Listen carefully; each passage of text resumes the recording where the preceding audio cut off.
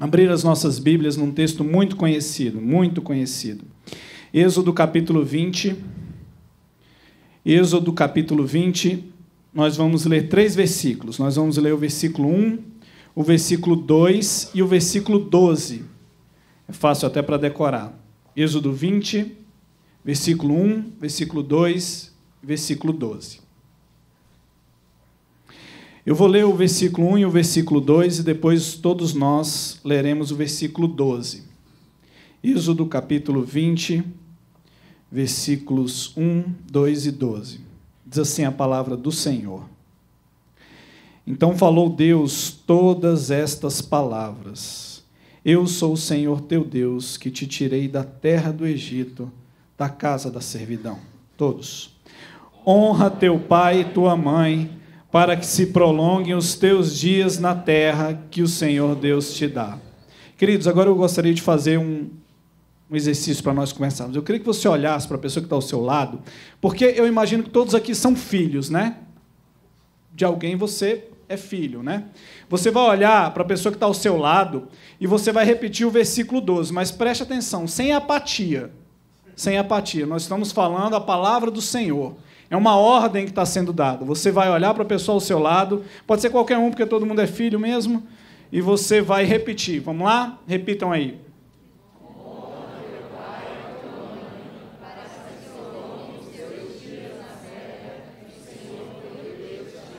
Amém. Vamos orar?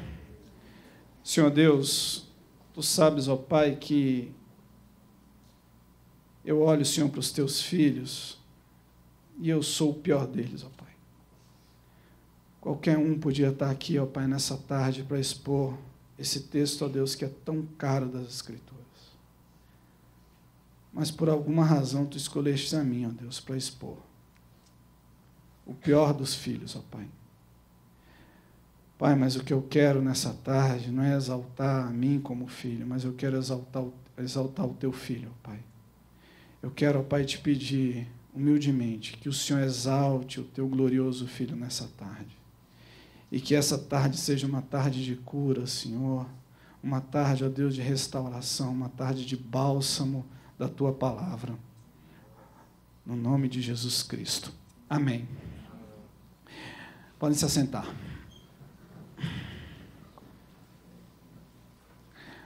uma lei para os livres.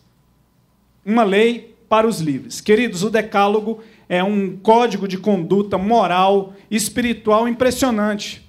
Em toda a história não há código que se assemelhe a ele. Ele é simples, ele é fácil de decorar, são apenas dez versículos, dez versos. Ele também é bastante estável, justamente por causa da sua simplicidade, da sua amplitude. Ele é atemporal. Em qualquer tempo, em qualquer cultura, o decálogo traz grande estabilidade para a sociedade que o observa. É impressionante como esses pequenos versos, poucos versos, eles conseguiram fazer com que Israel progredisse muito quando observavam esse texto, quando observavam o Decálogo. Mas algo impressiona ainda mais nesse texto. Esse texto foi dado em uma circunstância absolutamente aterradora. A Bíblia conta que o povo havia jazia escravo no Egito durante 400 anos.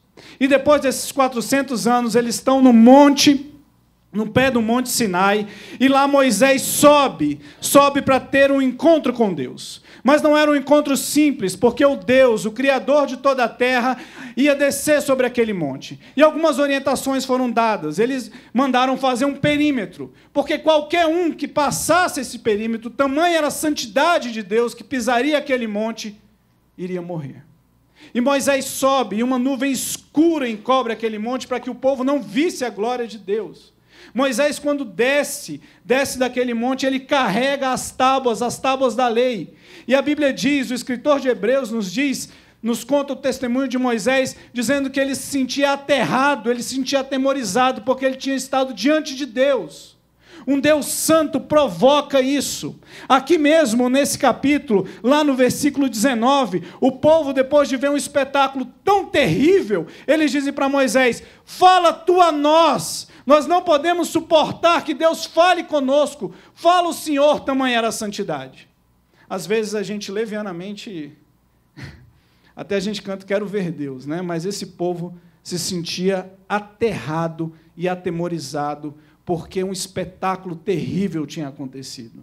E esse Moisés, o único profeta que viu Deus face a face, desceu do monte como encurvado, com peso de glória, carregando essa lei, esses dez mandamentos. É impressionante, queridos, esse espetáculo. Lá em Êxodo 31, a Bíblia nos diz que a escrita desses dez versos foram feitas com a própria mão de Deus. Você se lembra de Isaías? Isaías diz que Deus mede os céus a palmos, e foi esses mesmos palmos, foi essas mesmas mãos que entregaram esses dez mandamentos. O que confere toda a gloriosa força desse texto não é simplesmente a sua temporalidade, não é simplesmente ele ser estável, não é simplesmente a sua capacidade de se adaptar a qualquer cultura, mas é o seu autor. E nessa tarde eu gostaria de expor apenas um verso. Eu precisaria de dez noites para expor os outros dez, mas eu quero expor apenas o verso 12. E esse verso vai nos mostrar com bastante clareza a honra que precede a bênção a honra que precede a bênção. Primeira lição que nós tiramos desse texto é que a honra que precede a bênção é uma ordem. É uma ordem, é óbvio que é uma ordem. Mas essa ordem, queridos, não é dada por qualquer um. Essa ordem é dada pelo Senhor. E isso é que confere força a essa ordem. Você sabe, no serviço militar que eu tanto admiro, quanto maior a patente, maior é a força da ordem. Um soldado ele não pode desobedecer nem a ordem de um cabo, mas se ele desobedecer a ordem de um capitão, de um coronel, a coisa é grave. E a primeira lição que nós aprendemos que a bênção, que a, que a honra que, que precede a bênção é uma ordem. E essa ordem ela foi dada pelo próprio Deus. Observe o versículo 1. Então falou Deus todas estas palavras. O Criador se manifestou verbalmente, falou com Moisés, escreveu um texto. E esse texto deveria ser observado. Aquele que criou tudo, aquele que tinha criado o próprio Monte Sinai, ele entrega aquele texto para que aquele povo observe. Essa é uma ordem poderosa por causa do seu autor. Mas aqui no verso 2 há algo impressionante. Às vezes nós fazemos uma confusão e lemos as Escrituras como uma leitura moral, mas observe o versículo 2, o objetivo dessa ordem. Eu sou o Senhor, teu Deus, que te tirei da terra do Egito, da casa da servidão. Aquele povo havia sido escravo. Eles habitaram durante 400 anos nas senzalas do Egito. Eles gozavam de algum tipo de liberdade. Eles habitavam naquela terra que era uma terra que não era deles. Eles habitavam aquela terra e eles estavam debaixo de, dos verdugos do Egito. Eles estavam debaixo de grande escravidão. E aquele Deus tirou-os de lá com mão forte. E agora, ao pé do monte, ele está dando uma lei, ele está dando uma ordem. E talvez você me pergunte, mas não é contraditório? Não é contraditório você tirar alguém da escravidão e lhes dar uma lei? Seria contraditório se não fosse a lei do Senhor. Porque o versículo 2 nos dá uma informação importante sobre o decálogo. Essa é uma lei para os livres. Preste atenção, eles já não eram mais escravos. Eles já estavam livres do Egito. E agora Deus lhes dá, uma lei para liberdade. Talvez você tenha problemas em obedecer os dez mandamentos. Talvez para você seja demasiado difícil. Sabe por quê? Porque talvez você continue sendo escravo no Egito. Talvez o grande problema que você observe, fique fazendo esse jogo de observância da graça, observância da lei. Muitos livros são escritos, a gente fica com dúvidas a respeito disso, mas talvez tudo isso seja um estratagema seu, seja uma desculpa sua para que você não obedeça à lei do Senhor. Porque aquele que é livre, aquele que foi libertado, tal qual esse povo, aquele que está arrumando para uma terra que manda leite e mel, ele observa todas essas coisas e ele vê deleite nisso. Ele enxerga deleite na ordem do Senhor. Porque a ordem do Senhor é uma ordem para liberdade. Ela não é para prisão, ela não é para nos aprisionar, ela é uma honra para é uma ordem para liberdade. É impressionante, queridos, que também esse mandamento de honrar pai e mãe, ele sempre foi um termômetro da espiritualidade de Israel. Sempre foi. E também um termômetro da espiritualidade em todas as nações. Paulo, quando orienta Timóteo, lá em 2 Timóteo, no capítulo 3, e também lá em Romanos, no, é, no, capítulo 1, no versículo 30, ele demonstra claramente que um dos pecados mais absurdos que há é a desobediência aos pais, é a desonra aos pais. Uma nação vai de mal a pior quando os filhos desobedecem aos pais, quando os filhos desonram os pais. Queridos, a gente fica impactado quando a gente observa essas notícias a respeito dessas corrupções que o nosso país enfrenta. Quando a gente vê aquela montanha de dinheiro num apartamento. Mas sabe o que é, queridos, que devia nos impactar grandemente e não nos impacta? É quando a gente observa crianças bem pequenininhas, bem pequenininhas, às vezes de colo, batendo na cara dos pais. Desonrando os pais. E você sabe o que é impressionante? Há pais levianos que ficam rindo dos seus filhos batendo na sua cara. E há crentes do lado rindo também dos filhos batendo na cara dos pais. Desde pequeno eles começam a desonrar os pais. E o que, é que você acha que acontece com uma sociedade como essa? Acaba dando no Gendel Vieira Lima. O grande problema da nossa nação, queridos, não está tá lá no fim, nesses que são formados, está no começo porque as pessoas não observam esse mandamento. Elas não honram os pais. Elas não honram os pais quando são pequenos e elas não honram os pais também quando são adultos. E eu vou mostrar para você que a plenitude da observância desse mandamento se dá quando nós somos adultos e não apenas quando nós somos pequenos. Porque talvez você esteja aqui e talvez até você não tenha deixado seu filho descer, porque o pastor avisou, né, que, ia, que a gente ia falar. E você falou assim: "Oh, meu filho precisa ouvir isso". Mas, queridos, você precisa ouvir isso. Mais na frente nós vamos observar que a plenitude da observância desse mandamento só se dá na vida adulta. Queridos, é interessante que Davi, Davi que foi escolhido rei de Israel, foi escolhido rei de Israel lá na casa do seu pai, na casa de Jessé. Depois de terem passado todos os irmãos, veio a raspinha do tacho Davi e Davi foi ungido rei. Mas é interessante a cena seguinte. Na cena seguinte, ele, o pai ordena que Davi leve uma marmita para os seus irmãos. Levar uma marmita. Ora, o rei, o rei de Israel agora vai entregar marmita para os irmãos. O rei de Israel, que acabara de ser ungido pelo grande Samuel, agora vai entregar marmita. Depois, o próprio rei Saul o convoca para que ele toque harpa para ele. O rei de Israel se submeteu a ir tocar para o rei, o rei Nico, o rei Saul, que havia já decaído da graça de Deus. Ele se submete a entregar marmita para os seus irmãos lá no fronte da batalha. Sabe por quê? Porque essa é uma ordem, é uma ordem do Senhor. Honra teu pai e tua mãe. Talvez nessa noite você tenha acabado de ser aprovado num grande concurso. E seu salário agora talvez seja três vezes o seu pai. Lembre-se de Davi que virou o rei de Israel e ainda assim honrou seu pai. Honrou seu pai nas tarefas mais rotineiras e nas tarefas mais ordinárias. Em primeiro lugar, a honra que precede a bênção é uma ordem. Mas em segundo lugar, queridos, a honra que precede a bênção é pesada. A honra que precede a bênção é pesada. Vamos ler todos nós o versículo 12. Vamos lá? Honra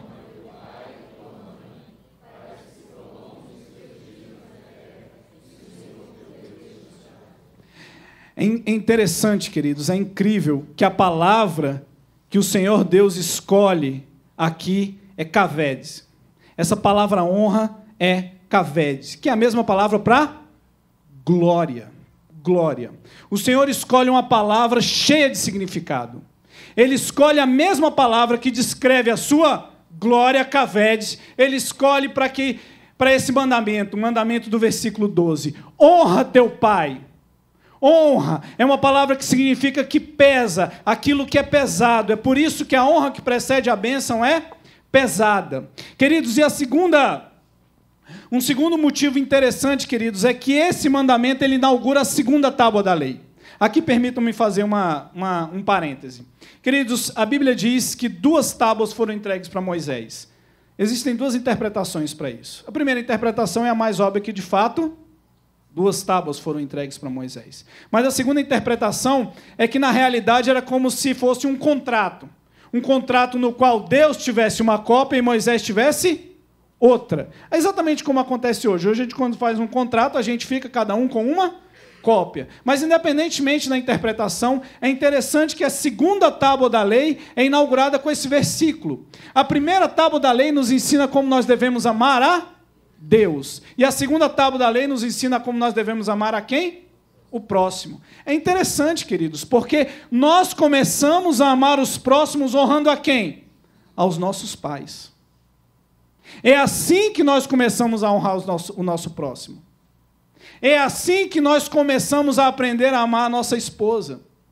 É assim que nós começamos a aprender a amar aqueles que estão acima de nós. Porque o Catecismo Menor de Westminster, a, a Confissão de Heidelberg, todo, todos esses textos preciosos, eles dizem que esse mandamento ele se dá, ele, ele tem amplitude sobre todos aqueles que Deus colocou sobre nós. Mas hoje eu quero ficar apenas aqui com os pais.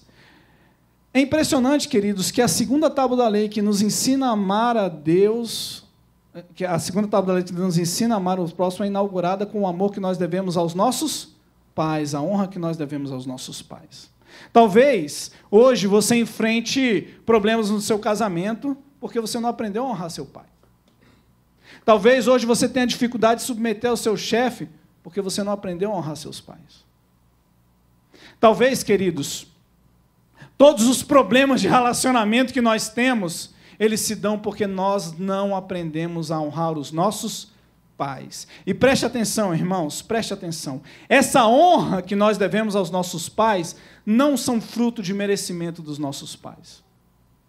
Porque quem mandou que nós honrássemos os nossos pais não colocou como condição que os nossos pais merecessem honra. A honra é devida. Você é filho? você deve honrar os seus pais. Essa honra que precede a bênção pesada, ela inaugura então a grande estabilidade pela qual o povo de Deus foi marcado nas suas relações.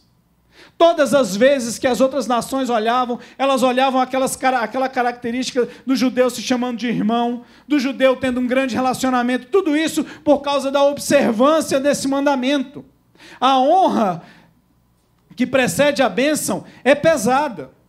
Queridos, é interessante que não existe desculpa para que nós abandonemos ou para que nós não observemos esse mandamento. Nem motivos religiosos. Porque talvez você esteja se perguntando, não, tudo bem, Daniel, aí eu aceito, porque, enfim, é a família da aliança, né, a família da fé, mas meu pai não é crente. Meu pai não é crente. Meu pai, ele não conhece a Deus. É curioso que Jesus diz que nem motivos religiosos são para isso. Lá em Marcos, no capítulo 7, a gente não vai ler não, mas depois você, você pode ler Marcos capítulo 7, do versículo 10 a 13, Jesus confronta seus maiores inimigos. Jesus confronta os fariseus. E lá nesse confronto é interessante que os fariseus tinham arranjado um estratagema interessante. Naquele tempo existia um certo sacrifício chamado corban. O que era o corban? Eu separava alguma coisa para o uso exclusivo de Deus. Separava aquilo e isso eu chamava de corban. E era interessante que, por exemplo, se alguém tivesse me devendo dinheiro, se o Luciano tivesse me devendo dinheiro e não quisesse me pagar, tivesse demorando a me pagar, sabe o que eu poderia fazer? Eu chegava para o Luciano e dizia assim: Luciano, aquele dinheiro que você está me devendo, eu resolvi fazer dele corban. E aí o que, que acontecia imediatamente com o Luciano? Ele não estava devendo mais a mim, ele estava devendo a quem? A Deus. Aí rapidamente Luciano ia e me pagava. Mas é interessante que quando Jesus ilustra esse pecado que os fariseus estão fazendo, ele ilustra com os pais deles. Os fariseus olhavam para os seus pais, e às vezes seus pais tinham necessidade, porque na época não existia aposentadoria os pais velhos sem poder trabalhar. Talvez chegassem para o fariseu, o fariseu bastante santo, aquele crente do início da carreira, e chegasse para ele e dissesse: Meu filho, eu estou passando uma necessidade enorme. E ele dissesse: Papai, todo o meu dinheiro é corban. Queridos, talvez você seja como um fariseu. Talvez você use a desculpa religiosa de só você ter sido alcançado pela graça de Deus para desonrar o seu pai. E talvez você até ache que isso é fidelidade ao Senhor, quando na verdade você está sendo um discípulo de fariseu. Esse mandamento ele é plenamente alcançado, plenamente alcançado quando nós somos adultos, porque ele envolve sim, envolve sim o sustento dos pais. Envolve. Talvez por causa de algo que aconteceu na vida dos seus pais, hoje eles não tenham como se sustentar. E a responsabilidade sua, meu irmão, mantê-los. Honra teu pai e tua mãe. Honra teu pai e tua mãe. Queridos, eu gostaria de ilustrar isso com uma história do nosso cancioneiro popular. É, no nosso curso de pregação, a Mariana usou, usou é, como é que é o nome? Shakespeare para fazer uma ilustração, mas eu, como não sou a Mariana, vou usar o Luiz Gonzaga aqui. Queridos, é interessante. Luiz Gonzaga, ele tinha se tornado um cantor muito popular, muito popular, extraordinariamente popular, mais popular do que o Roberto Carlos. E, numa certa altura da vida, já desiludido e já cansado, ele volta para casa do pai. Não sei quantos aqui assistiram o filme Gonzaga de Pai para Filho, mas é bonito esse filme. E lá chegando na casa do pai, o pai ainda mora numa casa ainda feita de bambu, uma casa feia, pobre. A mãe dele magra, magra, magra, magra. Tudo uma pobreza danada, mas quando o filho chega, eles resolvem fazer uma festa resolve fazer uma festa com nada, porque eles não têm nada. Mas começa a acontecer um churrasco ali naquela região e todo mundo começa a ficar contente, contente e eles começam a dançar forró, é óbvio. Forró eles começam a dançar. E o pai do Luiz Gonzaga era um grande sanfoneiro, Januário era o nome dele. Januário era um grande sanfoneiro. E ele tirou a, a sua sanfona pequenininha para tocar, e aí veio o Luiz Gonzaga e tirou seu instrumento, que só de baixo tinham 120, do pai dele tinha oito. Tinha oito, e eles começam a tocar. E o Luiz Gonzaga diz que ele começa a querer mangar do pai dele. Começa a querer gozar do pai dele por causa do seu instrumento. E o pai dele ali tocando com bastante vigor, e o Luiz Gonzaga com aquele grande instrumento tocando, e as pessoas perceberam isso. E até e em certa altura, o povo vira para o Luiz Gonzaga e fala bem assim: Luiz Gonzaga, de Taboca Rancharia, de Salgueira Bodocó, Januário é o maior. E olhando toda aquela situação, o velho Jacó olha para o, o, o, Luiz Gonzaga diz: Luiz, respeita Januário, Luiz. Respeita Januário. Você pode ser muito grande lá na cidade, mas aqui, Januário é o maior.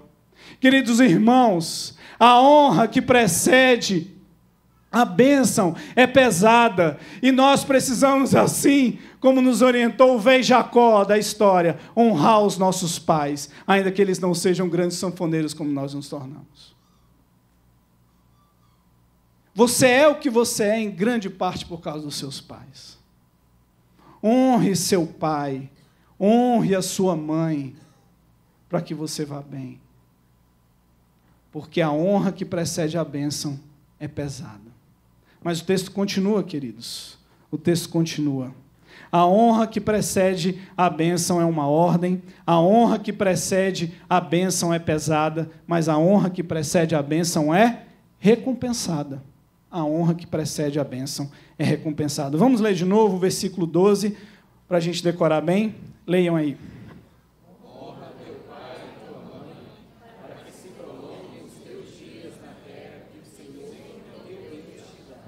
É interessante, queridos. Paulo diz que esse é o primeiro mandamento com promessa, o primeiro mandamento com promessa. E é uma promessa maravilhosa, maravilhosa. Lembrem-se, eles tinham acabado de sair da escravidão.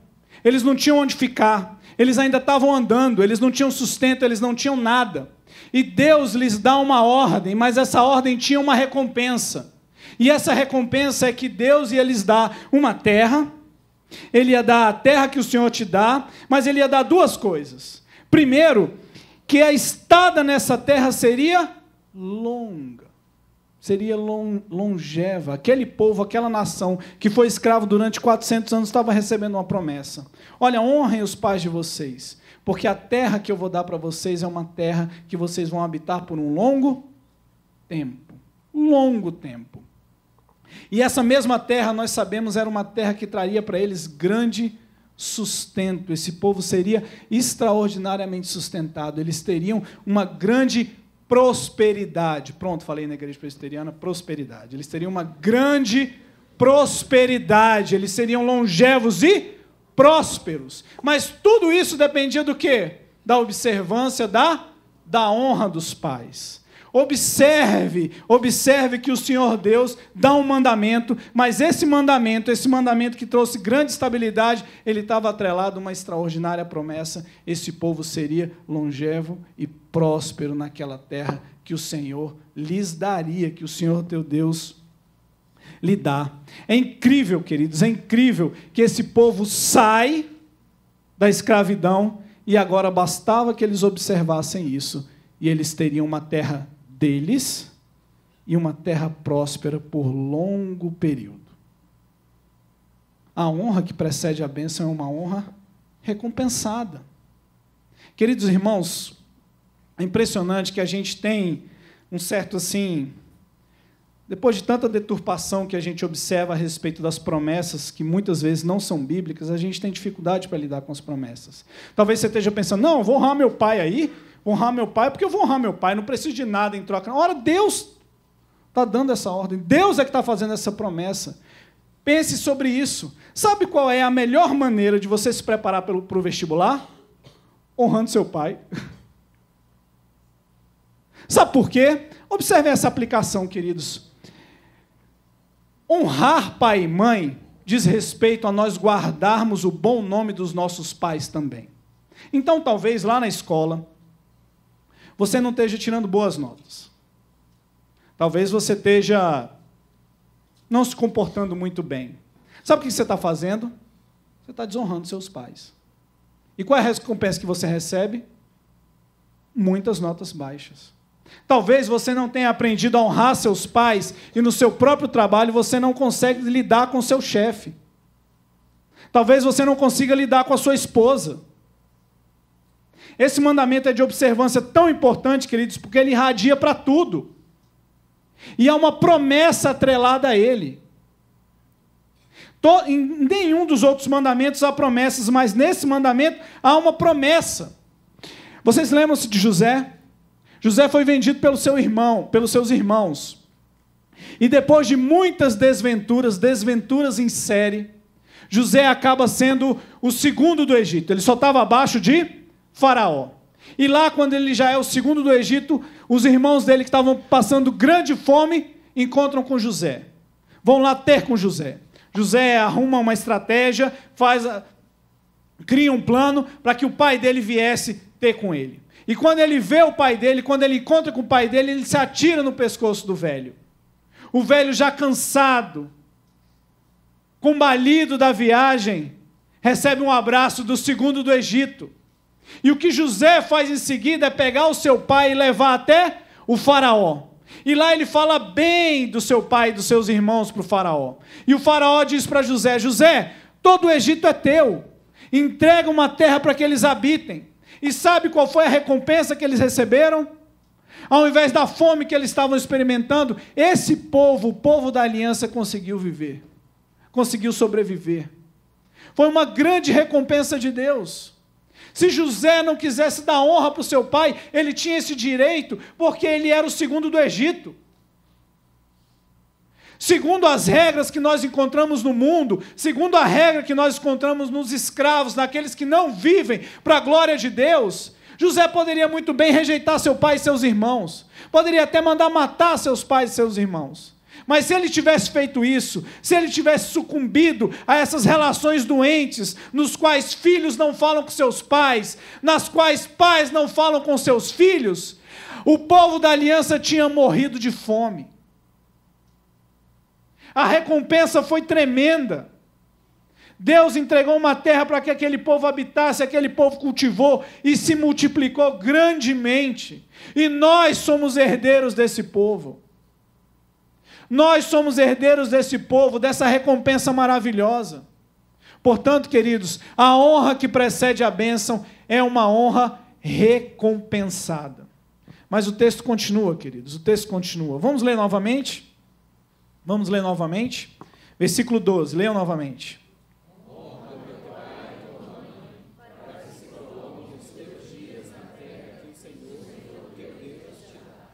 Queridos, há algo tenebroso nos Dez Mandamentos. Eu não posso esconder isso. Há algo que causa um aperto no nosso coração. Porque preste atenção, queridos. Os mandamentos, os dez mandamentos, eles servem para nós. O pastor gosta de usar a metáfora do espelho. Nós olhamos como nós estamos, mas eu vou usar uma outra metáfora. Eu vou usar a metáfora do gabarito. E eu vou usar a metáfora do gabarito do CESP, que é pior ainda. Não sei se vocês sabem, mas no CESP, quando você faz uma prova de concurso ou de vestibular, se você erra uma questão, ela anula uma que você acertou.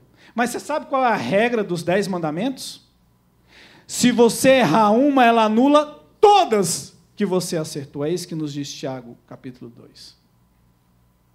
Os dez mandamentos eles servem para nós olharmos quem nós somos, mas nós olhamos isso como um gabarito. E se você não observa um desses dez mandamentos, você está de todo reprovado. Você pode não ser adúltero, mas se você não honra seu pai e sua mãe, você também está reprovado no adultério. Porque uma errada anula todas as certas. E você achava que o pai era difícil. É por isso, queridos, que a honra que precede a prosperidade é humilhante. Porque, em primeiro lugar, ela nos reprova. Mas, em segundo lugar, queridos, a recompensa que existe para a observância desse mandamento, ela também nos reprova. Porque é uma recompensa enorme e ainda assim nós não observamos. A recompensa de receber longevidade, a recompensa de recebermos prosperidade nessa terra, não é capaz de fazer com que nós observemos a honra que nossos pais merecem receber. Você já parou para pensar nisso? Que a promessa é enorme. O que você vai receber é enorme, mas ainda assim você não observa. Você não honra seus pais. Você não dá a eles o valor que eles merecem. Não que eles merecem, mas o valor que Deus os conferiu. Você não entrega a eles aquilo que eles devem receber. Queridos irmãos, os dez mandamentos nos mostram claramente como nós somos reprováveis diante de Deus. Todos nós. Nenhum sequer. Não há justo nenhum sequer. Porque todos são reprovados, ainda que recebam uma grande promessa da parte de Deus. A promessa de uma grande longevidade, a promessa de uma grande prosperidade. Basta que você honre. Honre seu pai. É humilhante, queridos, porque os nossos pais, eles nos amam. Eles são o primeiro contato de amor. Eu posso aqui, queridos, testemunhar com todos os defeitos que eles têm, que eu nunca, nunca, nunca, nunca me senti nem um pouquinho desprezado pelos meus pais. Eu sempre me senti absolutamente amado. Desde novo, e eu acredito que a maioria de vocês, mas ainda assim vocês são capazes de mentir para os pais de vocês. Vocês são capazes de não visitá-los. Vocês são capazes de não ouvi-los. Quando vocês se encontram com eles, é possível que você tenha mais atenção com o WhatsApp do que com seus pais. Talvez o fato de você ter ficado rico, poderoso, de ter ficado independente, faça com que você despreze seu pai. Talvez intelectualmente você seja superior ao seu pai e assim você o desonra todo dia. Ainda que Deus prometa coisas maravilhosas, você continua desonrando todo dia seus pais. Os dez mandamentos nos humilham, eles nos reprovam. E pode ser, queridos, que você que me conhece há mais tempo aqui,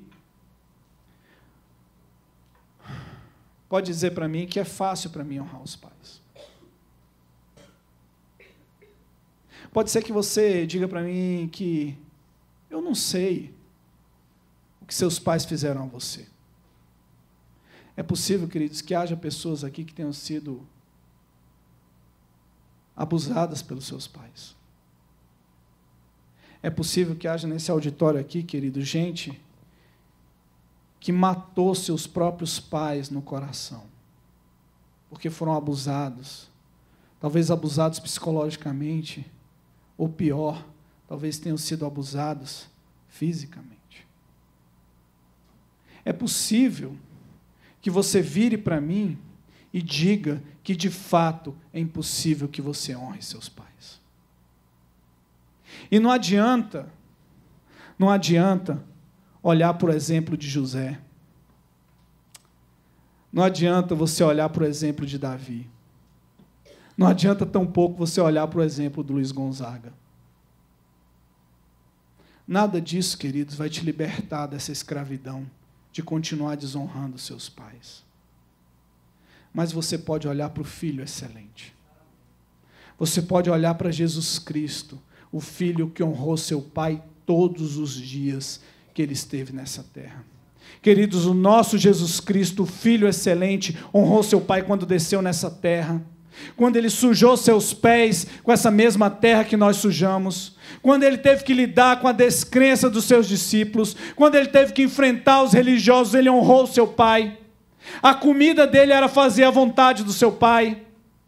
Ele conseguiu enfrentar céus e terras por causa do seu pai. É impressionante que no dia da sua excruciante dor, ele honra também a sua mãe.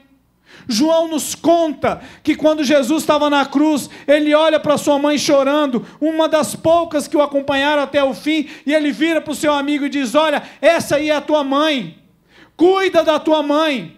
O nosso Deus, o Filho excelente, ele honrou a sua mãe, mas ele honrou, queridos, fundamentalmente o seu pai. Porque semelhante ao que aconteceu no Sinai, naquele espetáculo terrível, com clangor de trombetas. No Gólgota foi diferente. No Gólgota, Deus não desceu à terra. O Senhor Jesus estava pregado numa cruz. E havia apenas um que o observava. É possível, querido, que os anjos estivessem com as suas espadas desembanhadas, vendo o Filho de Deus sofrendo o que ele estava sofrendo.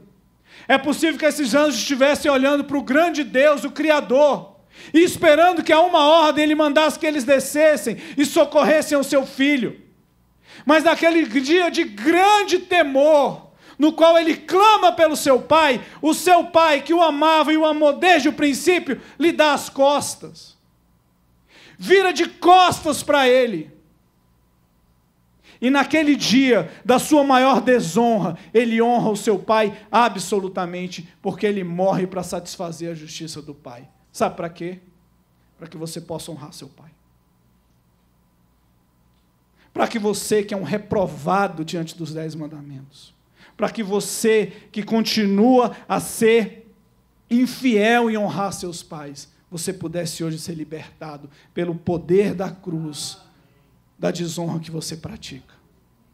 O Senhor Jesus experimentou toda desonra que nenhum ser humano jamais experimentou para que você pudesse honrar seus pais. Sabe por quê, queridos? Porque a promessa é de que o Senhor converteria o coração dos pais aos filhos e dos filhos aos pais.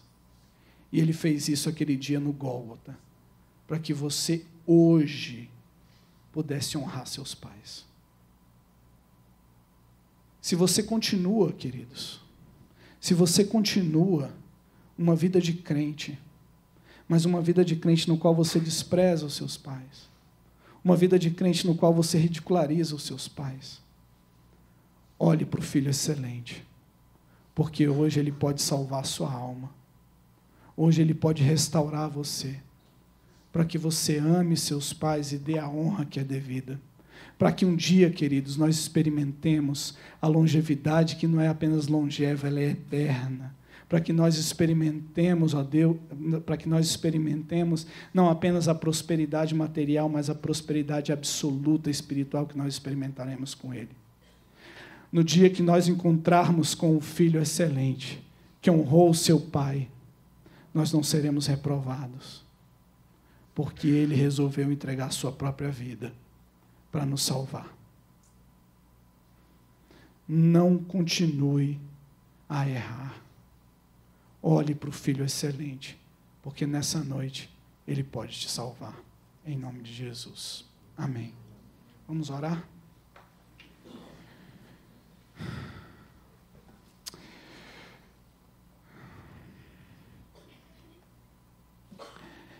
Querido Senhor, é demasiadamente pesada a tua palavra. Podia ser outro, Pai, para expor essa, essa palavra, Senhor. Pai, tua palavra foi pregada, Senhor, com toda a fidelidade, ó Deus, que eu consigo. Eu te peço em nome de Jesus Cristo, que essa noite seja uma noite no qual o Senhor converta o coração dos pais aos filhos e dos filhos aos pais. Pai, não deixa a igreja do Guará permanecer, ó Deus, desonrando seus próprios pais. Pai, pelo amor do teu nome, faz com que essa igreja tenha famílias estáveis, ó Deus, e fortes no sangue da cruz. Derrama a tua graça e chama, Senhor, o teu povo ao arrependimento, porque nós carecemos de ti, nós carecemos da cruz. Obrigado, Senhor, pelo teu filho amado. Obrigado, Senhor, porque ele recebeu toda desonra para que hoje nós pudéssemos honrar os nossos pais. No nome de Jesus Cristo. Amém.